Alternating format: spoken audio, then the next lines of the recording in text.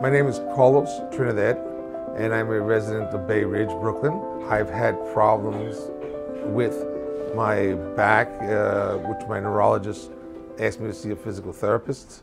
I did research, and I found hands on, and uh, you know I called them up to set up an appointment, and I've been seeing them now roughly for about two months now. They they've been you know very expedient and. Uh, and have helped me resolve some of my issues with my back.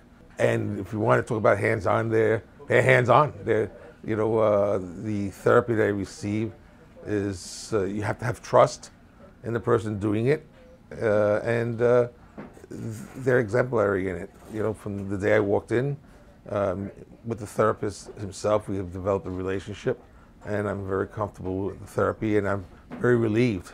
You know, I look forward to coming in and get treated. It, it's helped me a lot, you know, since I've been coming for therapy, you know, and uh, you know, I, I would recommend them honestly to anyone. I, you know, uh, if you want someone who's very, I find him, like he says, he puts me as a, a pretzel. A phys- is very physical, and uh, it's a lot of hands-on, you know, and uh, relief has been sensational.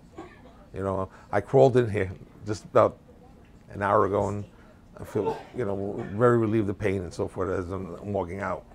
So uh, it's been it's been exemplary services that I've received.